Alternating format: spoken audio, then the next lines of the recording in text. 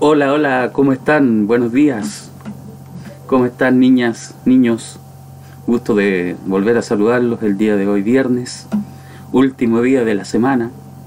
Bien, ya llegamos al fin de semana. Tendremos días para descansar y para estar en la casita. Eh, chiquillos, miren, eh, el día de hoy vamos a comenzar a trabajar con matemáticas, ¿ya? Eh, pero antes de eso vamos a levantar un poco el ánimo, ya, porque a esta hora a veces hay un poco de sueño o no muchas ganas, ya. Así que vamos a escuchar una canción primero para que nos levante el ánimo y después comenzamos con el trabajo.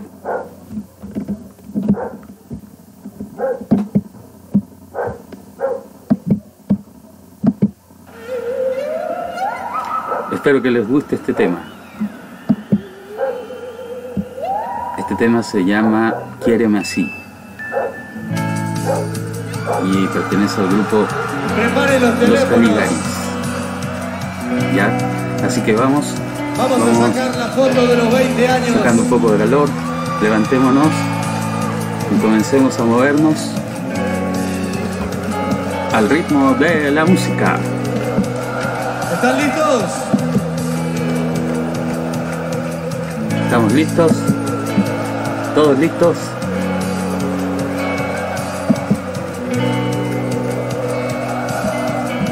Muy bien. El que pueda puede colocarse de pie.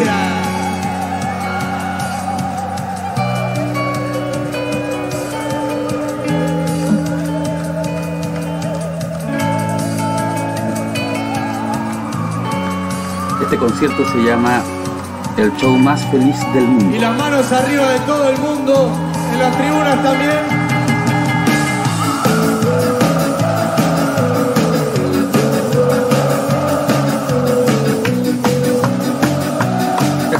Arriba las manos.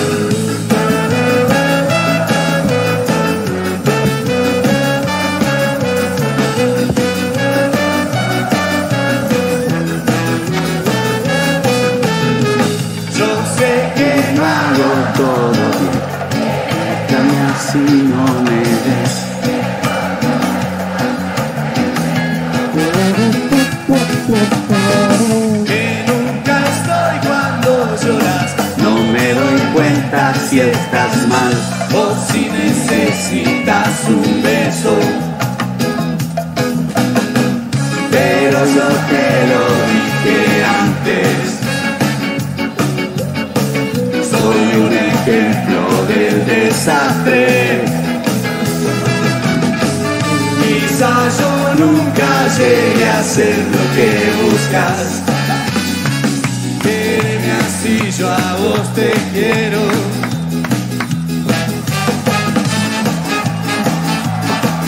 Eso, arriba, levantando las manos, saltando, saltando. ¡Eh, eh, eh, eh, eh! Lo dejo en compañía. De tu cumpleaños me olvidé, no sé qué día cumplimos mes, yo nunca te regalo el cielo. Que me cuesta no ser yo y andar pendiente de los dos, es egoísta y es sincero. Pero yo te lo dije antes. Soy un ejemplo del desastre.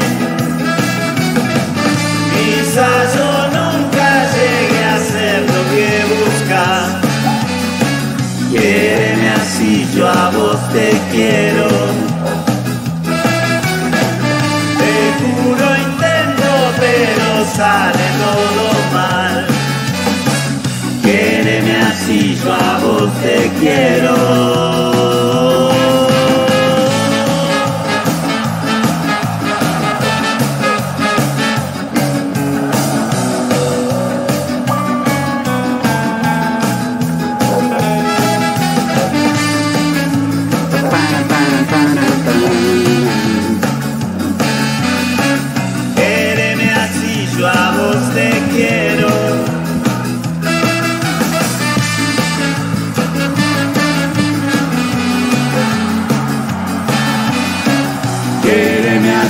Yo a vos te quiero.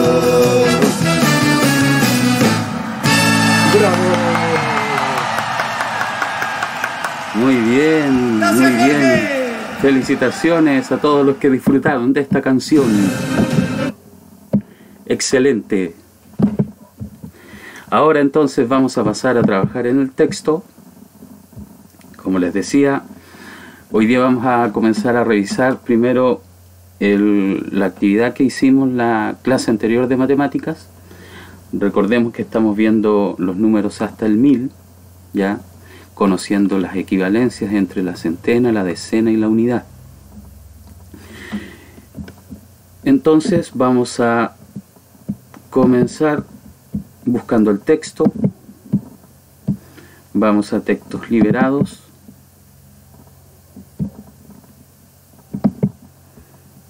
Curso tercero.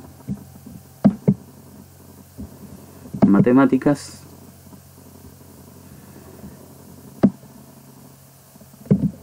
Y acá el cuaderno de ejercicios, que era en el que habíamos tenido la tarea.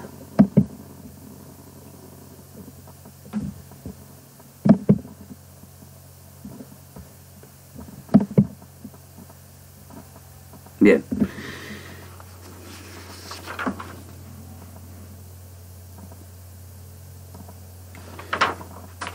Muy bien, eh, vamos a comenzar revisando las actividades de la página 10.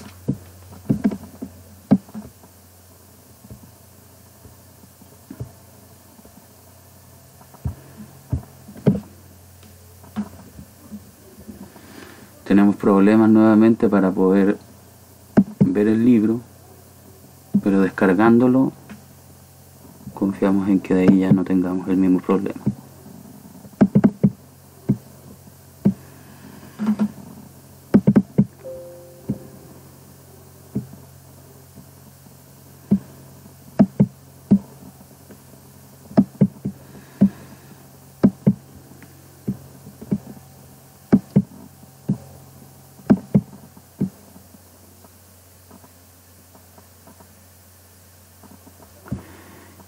Bien, vamos a buscar acá el texto.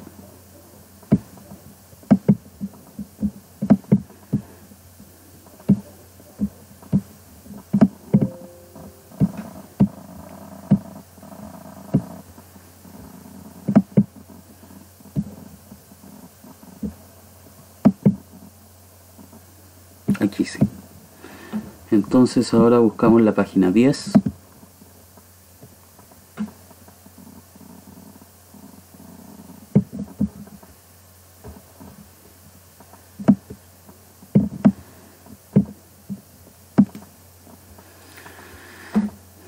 Diez. Bueno, en la parte anterior tenían ustedes, cierto, que ir encerrando eh, los números que pudieran encontrar y tenían que anotarlos acá al lado.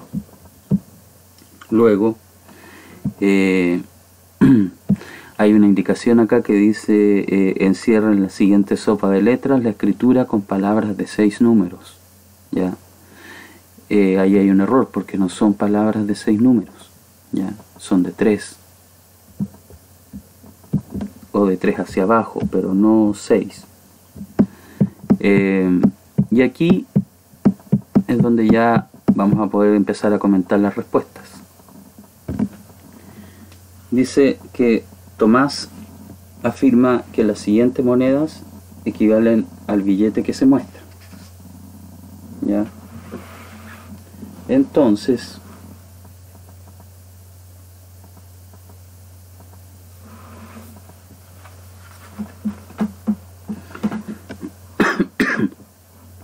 dice Tomás que acá en estas monedas hay mil pesos, que es lo mismo que está en el billete. Tendríamos que comenzar a contar, ¿cierto? Y nos vamos a dar cuenta 100, 200, 300, 400, 500, 600, 700, 800, 900, 1000. ¿Ya? Entonces, es la misma cantidad. Entonces es correcto porque 10 monedas de 100 equivalen a 1000. ¿Ya? Esa sería la respuesta A. La B. ¿Es correcto afirmar que las monedas equivalen a dos monedas de 500? Sí, también es correcto, porque 500 más 500 es igual a 1000. En la letra C nos pide cuántos números de tres cifras distintas puede formar con los dígitos 1, 3 y 6. ¿Ya? Se pueden formar seis números. El 136, el 163, el 316, 361, 613 y 631. Pasamos a la página 11, donde teníamos que pintar de rojo los números de un conteo de 2 en 2, partiendo del 2, o sea de aquí. Toda esta fila del 2 hacia abajo tendría que estar pintada con rojo. La fila del 4 al 94, la del 6 al 96, la del 8 al 98 y la del 10 al 100. En la letra B encierra de azul los números de un conteo de 5 en 5 partiendo del 5. Entonces habría que encerrar de azul el 5 y todos los números que siguen hacia abajo hasta el 95. Y también los del 10 hasta el 100. ¿Cuáles son los números que tienen en común estos dos conteos? Nos vamos a dar cuenta que al final van a estar pintados de rojo y también van a estar encerrados en círculo. Así que estos números del 10 al 100 serían entonces los números que tienen en común.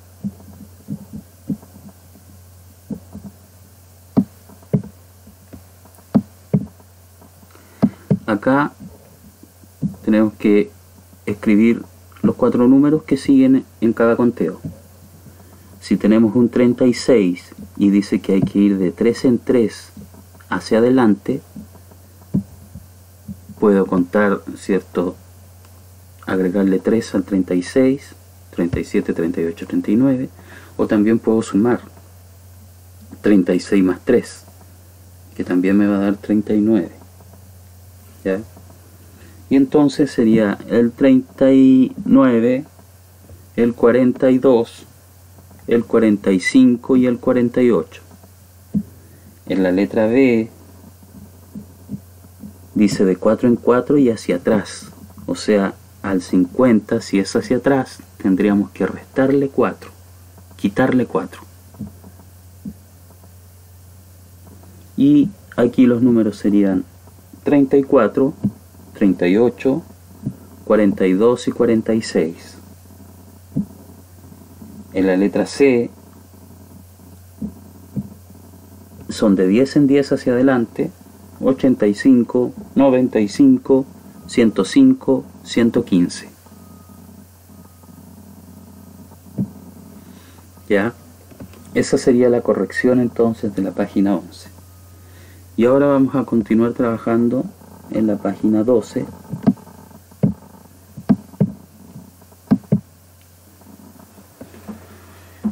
donde tenemos las siguientes instrucciones.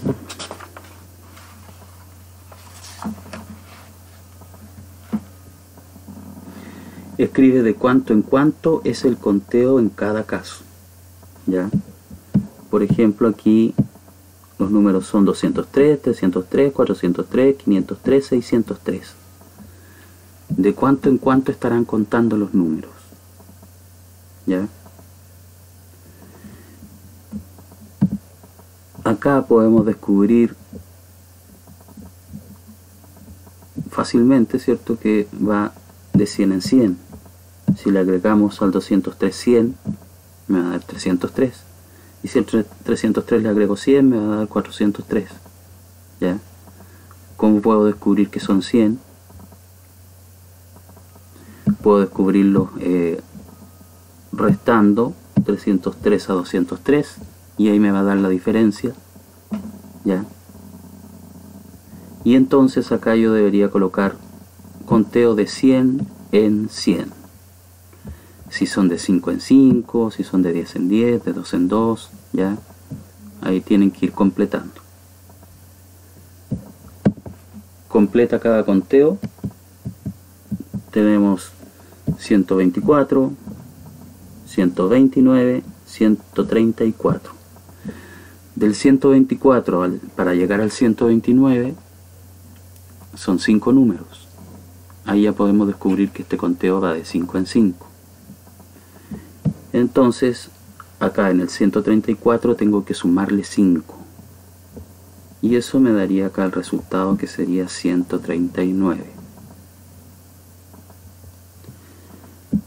Acá abajo también tienen que ir descubriendo el número que deben poner ahí para que queden a la misma distancia, ¿ya? de 100 en 100, de, de 10 en 10, hacia adelante también hacia atrás, ¿ya? En la 5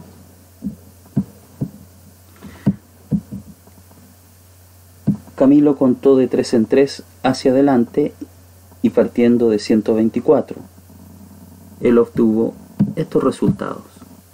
127, 130, 133, 136 y 140.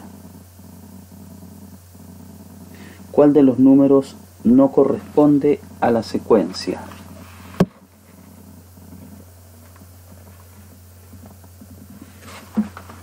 Ya, entonces, si ustedes se fijan bien, acá la mayoría de los números va de 3 en 3 pero hay uno que está diferente. Ese es el que ustedes deberían poner aquí hay uno que él contó de otra forma. Ya yo les doy solo la pista que eran de 3 en 3 y abajo nos pregunta por qué número habría que cambiarlo ya ese número incorrecto cuál debería ser el número correcto que debería ir en ese lugar luego tenemos que Andrea también contó de 4 en 4 hacia atrás y partiendo de 520 obtuvo los siguientes resultados 520, 516, 514, 512, 508, 504 y 500 ¿Cuál es el error que cometió Andrea al contar? También tienen que descubrir ahí cuál será el error y cuál sería la corrección, cuál sería el número correcto que debería ir en vez de que, del que puso Andrea. Luego tenemos otra serie numérica donde tenemos que ir completando. Ahí nos van diciendo de 5 en 5, permiso voy a conectar el computador.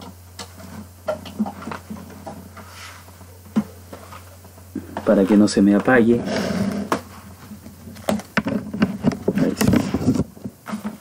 Ya. Y acá entonces. Eh, la idea es que vayamos contando de 5 en 5 eh, y nos pide entonces en la parte de abajo donde hay una línea que tenemos que completar. Hagamos la primera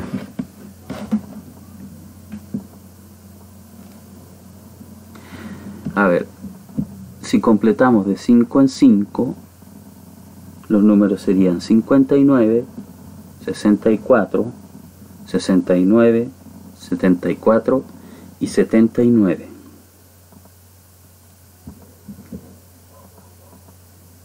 Y ahora tenemos que observar el patrón de las cifras de las unidades. O sea, nos tenemos que fijar en la unidad. ¿Qué número es el que se está repitiendo en la unidad? ¿Ya?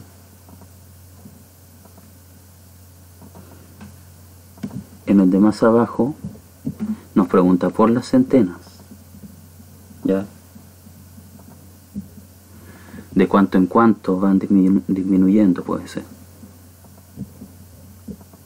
Lo mismo abajo, de 10 en 10 y hacia adelante. Luego hay que escribir, ¿cierto?, si es verdadera o falsa la afirmación.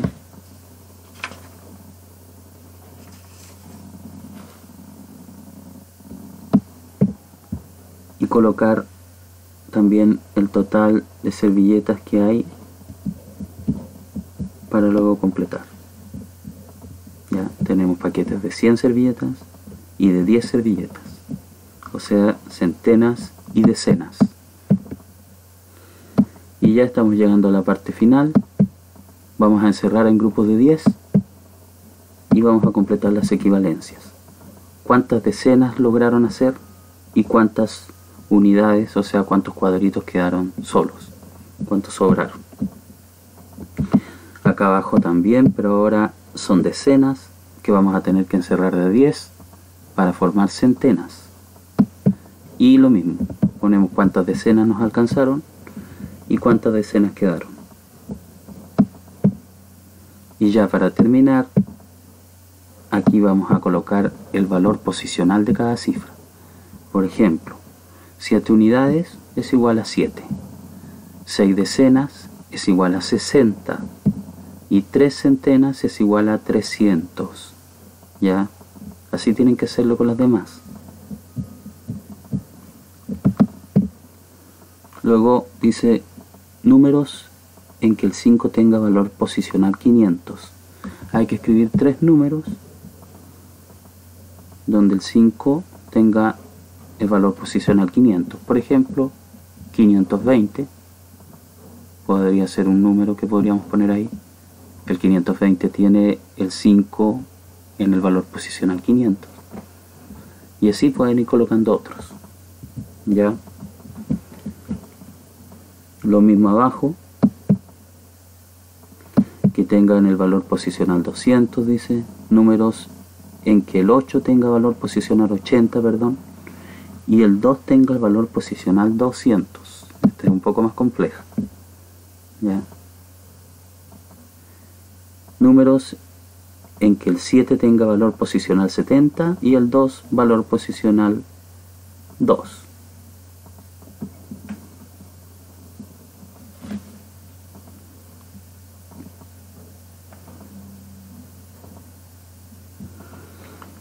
Bien.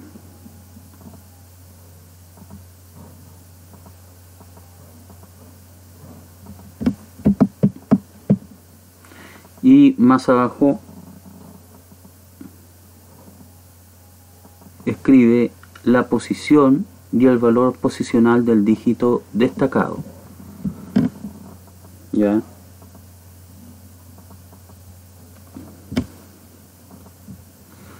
Tenemos que la posición es la decena y el valor posicional el número 40.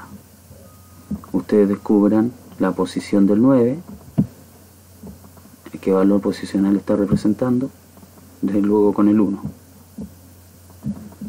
Bien, les voy a pedir que de las correcciones, de las correcciones que realizamos, que realizamos en, en las hojas anteriores, la respuesta que yo les di, la idea es que ustedes puedan revisar y cambiar los errores, ¿ya? Si tuvieron algún error, lo borran y lo arreglan, no lo dejen como malo.